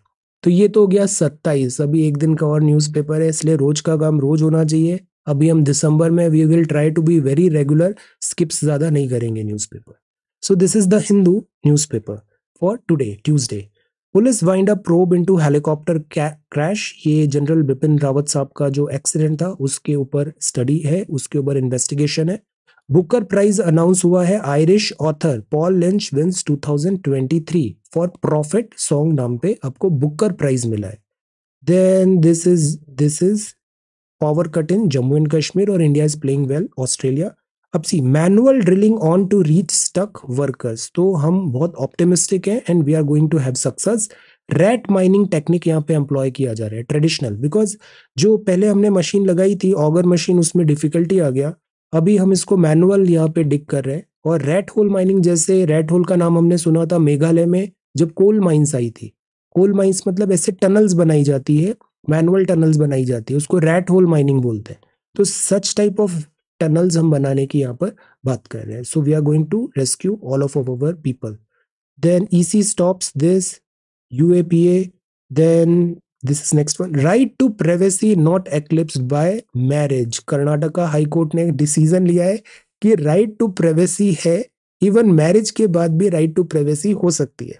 सो so, यहाँ पर मतलब woman wanted to have the Aadhaar card तो वहाँ पे कोर्ट ने कहा कि नहीं प्राइवेसी है ऑल दो मैरिज है बट प्राइवेसी भी है। तो marriage by itself does not do away with the procedural right of hearing conferred under section 33 of Aadhaar targeted delivery of financial and other subsidies benefits and services तो ये 2016 है तो जो privacy personal space यहाँ पे बात है। So relationship by marriage which is is union of two partners does not eclipse does not eclipse the right to privacy ऐसा कोर्ट ने कहा है। तो यहाँ पे कोर्ट ने ये बोला कि मैरिज का मतलब ये नहीं है कि वो राइट टू प्राइवेसी को एक्लिप्स कर लेगा, क्योंकि right to privacy is protected by the constitution under the act तो यहाँ पे डिवीज़न बेंच ने एक आर्ग्यूमेंट था कि जिसमें यू आधार और आरटीआई से था द वाइफ यहाँ पे दिस आधार था तो उसको कोर्ट ने ये मैटर बोला यहाँ पे कि दिस इज़ द थिंग कि यहाँ पर मैरिज जो है मैरिज के जो राइट्स हैं वो एक्लिप्स नहीं करेंगे राइट टू प्राइवेसी के राइट्स को okay so this is the thing next is monsoon mayhem in Shimla rings alarm bells triggers calls for course correction तो देखो, ये एक बहुत कॉमन थीम हो गया है शिमला शिमला बहुत ब्यूटीफुल है but the thing is overburdened है। बहुत ज़्यादा यहाँ पे कंस्ट्रक्शन एक्टिविटीज़ भी हो रही है और शिमला भी अगेन सिंक हो रहा है पॉलिश पॉल्यूशन और पॉपुलेशन बर्डन पे। अब जैसे यहाँ पे फ्लड्स आए फ्लड्स आए तो देखो दो चीज़ आया। कंस्ट्रक्शन का ओवरबर्डन है। बहुत सारे होटल्स ओपन हो गए हैं कंस्ट्रक्शन एक्टिविटीज़ होती जा रही है। तो इससे क्या हो रहा है? ओल्ड डेबरी भी आ रहा है और जो हिल स्लोप्स है, वो फ्रेजाइल है। तो इससे ढलान है, भूस्खलन ज़्यादा हो रहा है। फ्रेजिलिटी बढ़ रही है। अनरेगुलेटेड कंस्ट्रक्शन एक्टिविटी है। तो पहला कंस्ट्रक्शन एक्टिविटी दूसरा अनप्लैंड ओपन ड्रेनेज सिस्टम भी एक बहुत बड़ी प्रॉब्लम है, जिससे सॉइल इरोजन होता है और इससे बाइंडिंग फोर्स ऑफ़ ट्री कम होता है। So there are two reason जिससे शिमला स्ट्रगल कर रहा है। पहला अनरेगुलेटेड कंस्ट्रक्शन एक्टिविटी दूसरा अनप्लैंड ओपन ड्रेनेज सिस्टम तो हैवी रेंज होती है। सॉइल में डिफॉरेस्टेशन हो रहा है। बाइंडिंग कैपेसिटी कम है और debris avalanche type soil this वहाँ पे लैंडस्लाइड हो जाता है। तो ये बहुत सीरियस मैटर है। This is a very grim picture और वेट के तहत ये दब रहा है शिमला जैसे ऑल हिल स्टेशन यहाँ पे देवदर ट्री होते हैं। कॉनिफर्स टाइप होते हैं। देवदर सेडार के ट्रीज होते हैं। ये जो होते हैं स्नो गिरती है तो वो नीचे उसको अक्यूमुलेट होने नहीं देते लीव्स में पॉइंटेड होते हैं। बट द थिंग इज़ ये भी ज़्यादा फॉल हो रहा है और ये एवलांच को, जो लैंडस्लाइड है, उसको स्लोप को कंट्रोल नहीं कर पा रहा है अपरूटिंग डिफॉरेस्टेशन कई बार हम नेचर ऑफ़ फॉरेस्ट भी चेंज कर रहे हैं। एक नेचुरल फॉरेस्ट था, उसको हमने किसी दूसरे फॉरेस्ट में कन्वर्ट कर दिया प्लांटेशन फॉरेस्ट में। तो ये भी सॉइल इकोलॉजी को डिफिकल्टी लाता है। तो नीड ऑफ़ द आवर है कि हम बैलेंस्ड वे में आगे बढ़े हमें न्यू डिटर्मिनिज्म से ही आगे बढ़ना चाहिए। और सेम चीज़ यहाँ पर भी लिखा है एडिटोरियल में extra precautions must be in place while carving through mountains we need to be very very careful यहाँ प्राइमरली चार धाम परियोजना पे बताया है, ये religious pilgrim sites Gangotri, Yamunotri, Kedarnath और बद्रीनाथ को कनेक्ट करती है। बट अभी यहीं पर टनल कोलैप्स हुआ था और इससे साइकोलॉजिकल स्ट्रेस भी है और एक बहुत बड़ा चैलेंज आ गया है। तो ये 900 किलोमीटर का प्रोजेक्ट है चार धाम का। और इसमें रोड्स को चौड़ा करना है टनल्स बनाना है कलवर्ड्स बाईपासेस और ब्रिजेस बनाना है। बट द थिंग इज़ क्या हिमालय इसको सस्टेन कर पाएगा? अब ये प्रोजेक्ट भी ज़रूरी है बिकॉज़ चाइना डिफ़िकल्ट बॉर्डर तो we want this project as a national security asset but the thing is कि क्या वो एनवायरमेंटली सस्टेनेबल है या नहीं है? तो हमने इसका ई e नहीं किया था बिकॉज़ ये नेशनल सिक्योरिटी की बात है। बट ये फ्रेजाइल इकोसिस्टम की अभी हमें कॉस्ट पे करनी पड़ रही है। So we need to be better prepared not a panacea then disparity की बात है। The many grave risk confronting the world today आज वर्ल्ड में क्या प्रॉब्लम्स है? वर्ल्ड में बहुत प्रॉब्लम्स हैं आज में। सो so, प्रॉब्लम्स क्या है? यूरोप में एशिया में अफ्रीका में। अब जैसे यूरोप क्या प्रॉब्लम फेस कर रहा है? यूरोप प्रॉब्लम फेस कर रहा है इकोनॉमिक स्लो डाउन का। यहाँ की जीडीपी तेज़ी से बढ़ नहीं रही है अनएम्प्लॉयमेंट बढ़ रहा है लोगों के पास इकोनॉमिक जो है वो प्रॉस्पेरिटी कम हो रही है यूरोप में। सेकेंड जो दूसरी प्रॉब्लम है वो है माइग्रेशन की। यूरोप में जिस लेवल पे माइग्रेशन हुआ तो यहाँ पे इंटरनल क्लैशेस बढ़ते जा रहे हैं internal clashes because obviously when one population moves to another population तो वहाँ के लोकल कस्टम्स होते हैं लोकल वे ऑफ़ लाइफ होता है। तो जो माइग्रेंट्स हैं और जो लोकल्स हैं, इनके बीच में कंपटीशन बढ़ता जा रहा है और क्लैशेस बढ़ते जा रहे हैं। बिकॉज़ ऑब्वियसली डिफिकल्टी है रिसोर्सेज लिमिटेड है तो कंपटीशन बढ़ रहा है यहाँ पे। तो ये है वॉर्स है इकोनॉमिक इश्यूज़ है सप्लाई चेन डिस्ट्रप्शन है रिफ्यूजी क्राइसिस है यस एशिया में भी डिफिकल्टीज है सी कंट्री यहाँ पे अगर हम देखें तो एशियान में डिफिकल्टीज हो रही है वेस्टर्न एशिया में डिफिकल्टी हो रही है अभी Israel and western world Africa में भी अगर हम देखें तो यहाँ पे भी स्टेबल गवर्नमेंट्स नहीं है, अभी फ्रांस के साथ डिफिकल्टी हुआ चाइना प्रेजेंस बढ़ रहा है और एक्सट्रीमिज्म टेररिज्म भी अफ्रीका में ऑन द राइज है। Plus human rights violation is also one thing food scarcity is also one thing yes तो इन सब में देखें similarly north and south America में भी प्रॉब्लम है. अमेरिका में भी माइग्रेंट बहुत बड़ा इशू है. अगर हम यहाँ से मैक्सिको से जो बॉर्डर देखते हैं, बहुत डिफ़िकल्ट रहता है. कनाडा के साथ डिफिकल्टी है. जो अमेरिका खुद को बताता है oldest democracy of the world उसके जो रूट्स हैं, वो वीक होते हुए नज़र आ रहे हैं अमेरिका में, जैसा अभी इलेक्शंस में हमने देखा.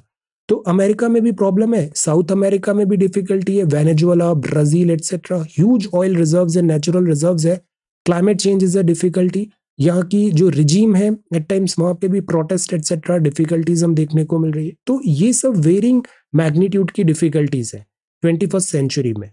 मल्टीपोलर वर्ल्ड बन रहे है। टेररिज्म एक बहुत बड़ा थ्रेट है सिविलाइज्ड सोसाइटी के लिए।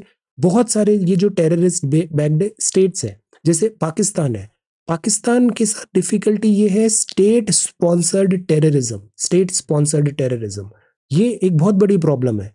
तो जैसे मुंबई अटैक हुआ this was a big threat similarly Africa में भी big threat so the thing is Palestine में भी terror attack big threat NATO जो है, अभी रशिया एंड यूक्रेन के साथ जो वॉर हो रहा है, ये भी वर्ल्ड स्टेबिलिटी के लिए एक बहुत बड़ा बिग थ्रेट है।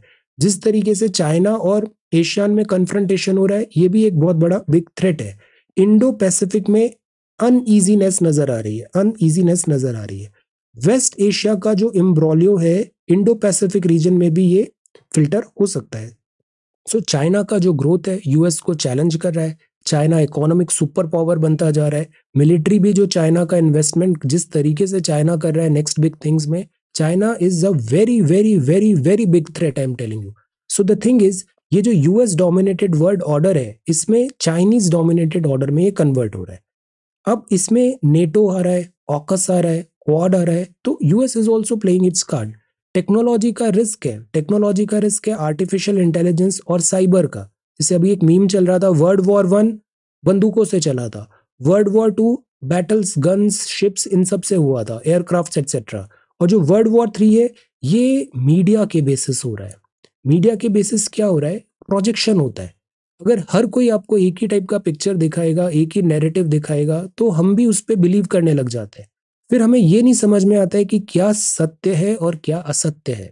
What is the right thing what is the wrong thing who is the victim and who is the oppressor हम कैसे डिफ्रेंशिएट कर पाएँगे कि who is the victim here and who is the oppressor who is right and who is wrong ये differentiation बहुत ज़्यादा difficult हो जाता है। सो so, ये जो मीडिया साइबर वॉर है ये लोगों की साइकोलॉजी लोगों के इमोशंस लोगों की सोचने की शक्ति पे अटैक करता है। और ये एक बहुत बड़ा थ्रेट है। This is a very very big threat biggest threat we ever faced because इससे हम लोगों को ही हैक कर लेते हैं पर्सन को ही हैक कर लेते हैं। So artificial intelligence in cyber is one thing generative AI है अभी बहुत सारे केसेस आ रहे हैं कि इसमें फेक फेक लाइक वीडियोज़ आ रहे हैं celebrities etcetera not not cool so the thing is ये एक बहुत बड़ा अगेन थ्रेट है। सो so, एआई जो है एआई के बेनिफिट्स भी हैं और रॉन्ग भी हो सकता है इससे। ये सब नेक्स्ट लेवल थ्रेट्स हमें देख रहे हैं। कोविड नाइन्टीन अभी एंड हुआ नहीं और चाइना में अभी एक और न्यू डिफिकल्टी आ रही है। सो द थिंग इज़ ये एपिडेमिक्स भी एक बहुत बड़ा थ्रेट है। It's time to revamp the structure of the supreme court ये बड़ा अच्छा आर्टिकल है। इसमें यह लिखा गया है प्राइमरली सुप्रीम कोर्ट को दो पार्ट में डिवाइड किया जाए। एक जो सेक्शन होगा, वो सारे कॉन्स्टिट्यूशनल मैटर्स को देगा। कॉन्स्टिट्यूशनल मैटर्स को देगा कि हम दो डिवीज़न में बेंच में, जैसे टेंथ लॉ कमीशन ने भी बोला था, हम सुप्रीम कोर्ट को दो डिवीज़न में करें। एक होगी कॉन्स्टिट्यूशनल और एक होगी लीगल जितना भी कॉन्स्टिट्यूशनल मैटर है, वो कॉन्स्टिट्यूशनल डिवीज़न देखेगा और बाकी जो लॉ रिलेटेड मैटर है अपील्स वगैरह, वो लीगल बेंच देख लेगी। तो supreme court is a like apex court of India integrated judiciary है यूनिटरी फीचर है कोर्ट का साइज़ अलग हो सकता है, कोर्ट में अलग अलग बेंचेस बनती है और एक यहाँ पे, एक यहाँ पर रोस्टर चलता है। रोस्टर में जो चीफ जस्टिस ऑफ़ इंडिया होते हैं, वो मास्टर ऑफ़ रोस्टर कहलाते हैं। चीफ जस्टिस ऑफ़ इंडिया का काम होता है कौन सा केस किस बेंच को जाना है, तीन मेंबर बेंच बनानी है, चार, पाँच लाइक दैट तो वो चीफ जस्टिस ऑफ़ इंडिया का होता है कि किस बेंच को कौन सा केस हम रेफर कर रहे हैं। तो ये जो है चीज़ें और स्ट्रीमलाइन की जा सकती है। आर्टिकल 145 बोलता है मिनिमम फाइव जजेस होना चाहिए जब एक कॉन्स्टिट्यूशनल बेंच हमें बनाना है या सब्सटेंटिव क्वेश्चन ऑफ़ लॉ है, या प्रेसिडेंट साहब ने आपसे एडवाइस मांगी है 143 के अंदर। अब सुप्रीम कोर्ट की अलग अलग बेंचेस होती है, जैसे डिवीज़न बेंच में दो जज होते हैं फुल बेंच में तीन जजेस होते हैं अगर डिवीज़न की है। सिमिलरली कॉन्स्टिट्यूशनल बेंच होती है। एक केशवानंद भारती केस आया था। Keshavananda Bharati confirm if I am wrong Keshavananda Bharati में सबसे बड़ी बेंच बनी थी सुप्रीम कोर्ट के इतिहास की। उसका नंबर क्या है बता सकते हो? जैसे तीन जज, चार जज, पाँच जज। तो केशवानंद भारती केस में I think it is the biggest bench ever created by the supreme court thirteen जज की एक बेंच थी। मतलब तेरह जज सामने बैठे हुए हैं और वो मिलके डिसीज़न लेंगे। और केशवानंद भारती केस पास कैसे हुआ था आपको पता है? सेवन सिक्स से। सेवन सिक्स से। सात लोगों ने यस बोला, छह लोगों ने ना बोला। और इस तरीके से बेसिक स्ट्रक्चर डॉक्ट्राइन हमारा आया। तो see it was so contested so contested yes so separate करना है कॉन्स्टिट्यूशन बेंच को, और इससे पहले कुछ और मैटर भी आया इलेवेंथ ने भी बोला बट ऐसा हुआ नहीं है आज तक। बिहार लीगल सपोर्ट सिस्टम ने भी बोला, एक नेशनल कोर्ट ऑफ़ अपील हो, जहाँ पे सारे अपील रिलेटेड मैटर हो जाए। Two twenty ninth law commission ने भी बोला रीजनल बेंच बनाओ। सुप्रीम कोर्ट तो है, साथ ही साथ रीजनल बेंचेस भी बनाओ। नॉन कॉन्स्टिट्यूशनल इश्यूज़ वहाँ पे हो जाएगा डिसेंट्रलाइज किया जाओ। बट अभी तक इस पे कोई डिसीज़न ऐसा हुआ नहीं है। क्या ऐसा कॉन्स्टिट्यूशन में लिखा हुआ है कि सुप्रीम कोर्ट का बेंच केवल दिल्ली में होगा? क्या ऐसा कॉन्स्टिट्यूशन ने बोला या फिर हमने अपनी कन्वीनियंस के हिसाब से सेट कर लिया है कि हमें कहाँ पे रखना है सुप्रीम कोर्ट का जो मेन बेंच है? सुप्रीम कोर्ट है ना? दिल्ली में है सुप्रीम कोर्ट। तो क्या ये कॉन्स्टिट्यूशन ने बोला है बकायदा कि दिल्ली में होनी चाहिए सुप्रीम कोर्ट? आंसर तो द थिंग इज़ कि आर्टिकल 124 कॉन्स्टिट्यूशन में आया और फिर आर्टिकल 130 आया, सुप्रीम कोर्ट इस तरीके से बनी हमारी ये ओवरबर्डनड है लीगल डिफिकल्टीज आती है और कॉस्टली अफेयर है। This is a very costly affair courts वगैरह जाना बहुत कॉस्टली टाइम कंज्यूमिंग अफेयर है। सो so, इसलिए बात है कि हम स्ट्रक्चरल चेंज लाएँ रिवैम करें सुप्रीम कोर्ट का स्ट्रक्चर देन माउस्ट है thirty day worth of power cuts in year Jammu Kashmir में बिजली सप्लाई डिफिकल्टी आ रही है। डॉलराइजेशन सेव एन इकोनॉमी एक वर्ड हम पढ़ रहे थे डी डॉलराइजेशन मतलब वर्ड को डॉलर से दूर करो। एक है डॉलराइजेशन डॉलराइजेशन का मतलब होता है, जैसे बहुत सारी कंट्रीज़ है, जैसे इक्वेडोर का एग्ज़ाम्पल दिया हुआ है यहाँ पे। इक्वेडोर ने अपनी करेंसी को ड्रॉप कर दिया और वो बोलते हैं हम यूएस डॉलर को ही अपनी करेंसी बना देंगे। पर ये सवाल से बहुत सारे फ़ायदे भी है, क्योंकि local currency at times perform नहीं कर रही थी इन्फ्लेशन हो रहा था बहुत ज़्यादा पॉलिसी फॉर्मुलेशन में डिफिकल्टी आ रही थी स्ट्रीमलाइन डिफिकल्टी हो रही थी फंड्स लेने में डिफिकल्टी थी। तो हमने डॉलराइजेशन कर दिया। But the thing is now we are vulnerable जैसा US dollar US policy making होगा, उसके अकॉर्डिंग हमारी इकोनॉमी भी चलेगी। तो हमने certain degree of sovereignty lose कर दी यहाँ पे। हर कंट्री की अपनी करेंसी होती है, उस पर सोवर्निटी रहती है उसकी। डॉलराइजेशन से हमने वो गिव अप कर दिया। तो डॉलराइजेशन एक सॉल्यूशन है हाइपर इन्फ्लेशन का, कि जब खुद की करेंसी अच्छे से वर्क नहीं कर रही है तो आप डॉलर को अपनी पॉलिटिकल करेंसी बना दो। तो इससे इन्फ्लेशन में हेल्प होता है पॉजिटिव इफ़ेक्ट आता है फॉरेन ट्रेड इनफ्लो बढ़ जाता है but the thing is you lose your decision making power इससे डिसीज़न मेकिंग पावर होता है। तो अभी वर्ल्ड डिवाइडेड है। साउथ अमेरिका में बहुत सारी कंट्रीज़ हैं, जैसे यूक्वेडोर हुआ पानामा हुआ अल सेल्वाडोर हुआ सेंट्रल अमेरिका की भी। ये सक्सेसफुली डॉलराइजेशन इन्होंने अपनी करेंसी का कर दिया है। पर यूएस पे डिपेंडेंसी आपकी ऑब्वियसली बढ़ जाएगी। ये फाइबर ऑप्टिक है, इसको हम डिटेल में देखेंगे। नो योर इंग्लिश है एवरी वन अब एवरी वन सिंगुलर है या प्लूरल है, यहाँ वन लिखा हुआ है ना वन वन होता है तो एवरी वन सिंगुलर होगा एवरी वन तो एवरी वन एक सिंगुलर है everyone here is an actor everyone here is an actor okay so everyone जो है दिस ओके सिंगुलर वर्ब है. प्लूरल प्रोनाउन जैसे देयर होता है देयर जेंडर न्यूट्रल होता है देयर जेंडर जेंडर न्यूट्रल होता है यहाँ पे. दे जो होता है ये भी न्यूट्रल है बिटवीन मैस्कुलाइन एंड फेमिनाइन जैसे has anybody brought their textbook So we are not saying ki him or her, their textbook. Okay. Then plural pronoun to refer to the singular everyone हो सकता है। Solicit solicit मतलब जैसे solicit advice है हम किसी से सलाह मांग रहे हैं ask for money help votes etcetera तो इसको हम क्या बोलते हैं? सॉलिसिट सॉलिसिट सॉलिसिटर जनरल का नाम सुना है आपने? एक वर्ड होता है solicitor general who is the solicitor general of India so this is solicited money from the party so so, बहुत कंसर्न एंड एंजियस है समबडी के वेलफेयर एंड कंफर्ट में तो दिस इज़ सॉलिसिटस ऑगस्ट है। August जो word होता है इसका मतलब होता है बहुत डिग्निफाइड है बहुत इंप्रेसिव है और बहुत मेजेस्टिक है। तो उसको हम ऑगस्ट बोलते हैं। जैसे we are in a august company Srijan India one में सारे स्टूडेंट्स हैं और जो है वो बहुत ऑगस्ट कंपनी है। ऑगस्ट कंपनी मतलब very dignified very impressive very majestic just looking like a wow तो ये होता है ऑगस्ट तो अगस्त होता है लाइक एट्थ मंथ होता है अगस्त अगेन ब्यूटीफुल मंथ ये है क्वैकरी क्वैकरी क्या होता है? मेडिकल प्रैक्टिस और है based on advice ignorance of scientific findings है. वो एम्पेरिकल है एम्पेरिकल है चार्लटन है क्वैकरी है मतलब not true not true yes Neem Hakim yes then this is fibre cable देखो, सबसे पहले तो फाइबर केबल समझने से पहले टोटल इंटरनल रिफ्लेक्शन समझते हैं। टी क्या होता है? सपोज़ एक मीडियम है और एक दूसरा मीडियम है। जो लाइट है, वो एक मीडियम से दूसरे मीडियम जा सकती है। डेंसर टू लाइटर मीडियम जा सकती है। जैसे पानी और हवा। हवा लाइटर है, पानी डेंसर मीडियम है।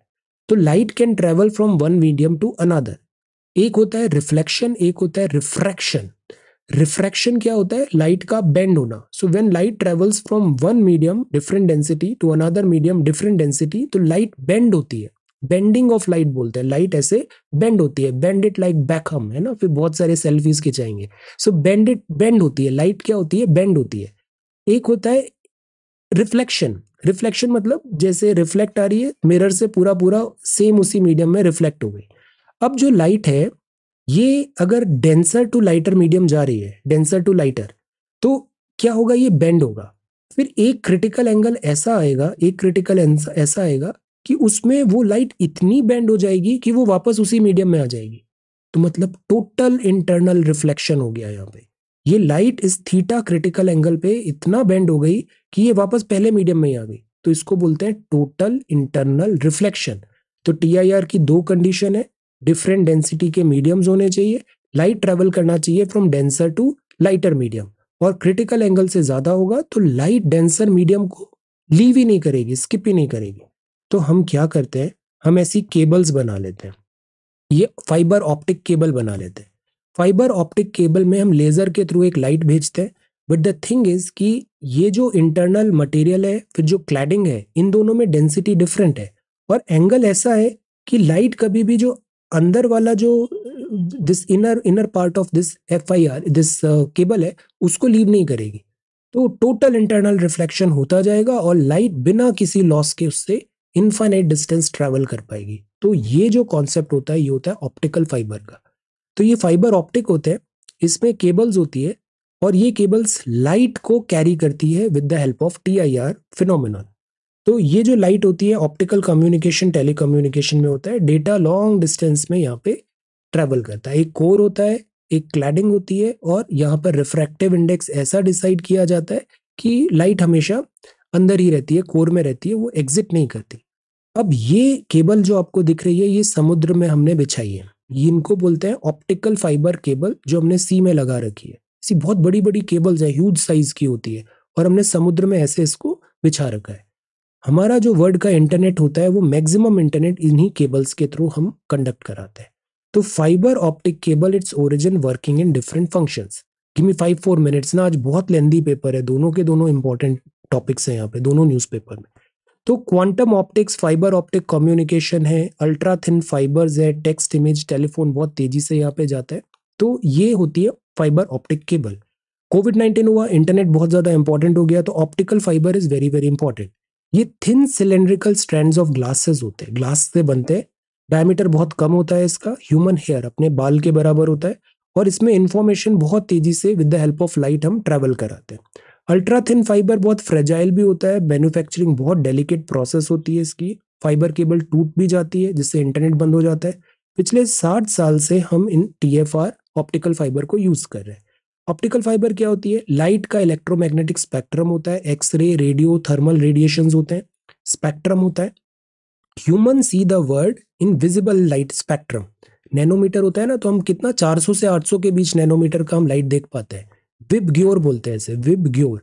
Violet indigo, brown, green, yellow, orange, नहीं, VIBGYOR, violet indigo, VIBGYOR होता है। So this is VIBGYOR. Human see the world around us via sunlight sunlight हमें दिखती है और हम विजिबल लाइट सारे कलर्स देख पाते हैं ओके यस जो कलर ब्लाइंड होते हैं ना, वो ब्लू और रेड नहीं देख पाते, वो डिफ्रेंशिएट नहीं कर पाते। वॉयलेट होता है, फिर इंडिगो होता है बी से क्या होता है? ब्लू होता है, फिर ग्रीन होता है वाई से येलो होगा ओ से क्या होता है? ओ से ऑरेंज होगा और आर से क्या होगा? रेड होगा। ये सारे विबग्योर होते हैं विबग्योर सैटेलाइट बहुत महँगा है ना सैटेलाइट बहुत एक्सपेंसिव हो जाएगा और बहुत एनर्जी लगेगी। सैटेलाइट में अपलिंक तो हम कर देंगे, डाउनलिंक बहुत डिफ़िकल्ट है। इतना हैवी सैटेलाइट स्पेस में रखना बहुत मुश्किल बात है। तो डाउनलिंक जो होता है ना, वो एनर्जी ज़्यादा लगता है बैटरी ज़्यादा लगेगा तो सैटेलाइट लिमिटेड ही होता है। मैक्सिमम चीज़ हम ऑप्टिकल फाइबर नेटवर्क के थ्रू करते हैं। तो ये जो चीज़ है, ये फिनोमिनन टोटल इंटरनल रिफ्लेक्शन यहाँ पे लगता है। इलेक्ट्रोमैग्नेटिक वेव्स हैं, वो इस तरीके से आगे बढ़ती है। बस यहीं पे अब बाकी यही बात लिखा है ऑप्टिकल फाइबर कैसे वर्क करता है टीआईआर के बेसिस पे करता है। फ्यूचर ऑप्टिकल फाइबर का ब्राइट है, इससे इवन जो लिडार टेक्नोलॉजी है, ये भी बहुत पॉपुलर होती जा रही है। लाइफाई टेक्नोलॉजी भी फ्यूचर में बहुत पॉपुलर होगी, इससे high speed internet with the speed of light हम देख पाएँगे। तमिलनाडु ने अभी स्टडी कर रहे हैं इन्वेस्टिगेशन कर रहे हैं हेलीकॉप्टर क्रैश का। Then this is next one tributes to the guru so faithful को मेमोरेट हुआ birth anniversary of Guru Nanak ji first Sikh guru थे गुरुद्वारा बांग्ला साहिब न्यू दिल्ली में। है ना? गुरु गोविंद दोनों खड़े। Lightning strike kill 27 in Gujarat as rain batter state lightning है। देन दिस इज़ इंडिया ने 2047 तक का रोड मैप बना रखा है चंद्रयान थ्री प्रोजेक्ट भी है। वर्क रिलेटेड डेथ एक बहुत बड़ा डिफिकल्टी है। कई बार वर्क करते वक्त लॉन्ग वर्किंग आवर है। Particulate matter gases and fumes है इंजुरी है एस्बेस्टॉस है सिलिका है UV radiation diesel engine exhaust ये सब वर्क रिलेटेड चैलेंजेस होते हैं वर्क रिलेटेड इंजुरीज होता है। इनसे भी इंश्योरेंस ज़रूरी होता है लेबर ऑर्गेनाइजेशन इसराइल का प्लान है देन पॉल लिंच को 2023 का बुकर प्राइज मिला प्रॉफिट सॉन्ग में one year on insider norms अभी म्यूचुअल फंड्स में हैंग्स दिस फायर लेटेस्ट सी या क्या डिसीज़न आता है। मारुति सुजुकी कीमत बढ़ाने वाली है। जीएसटी रिजीम में ईवीज इलेक्ट्रिक व्हीकल्स और ज़्यादा पॉपुलर होंगे। ग्लोबल इन्वेस्टर्स जिटरी नहीं हो। पोल आउटकम से इंडिया में आए और इन्वेस्टमेंट करें।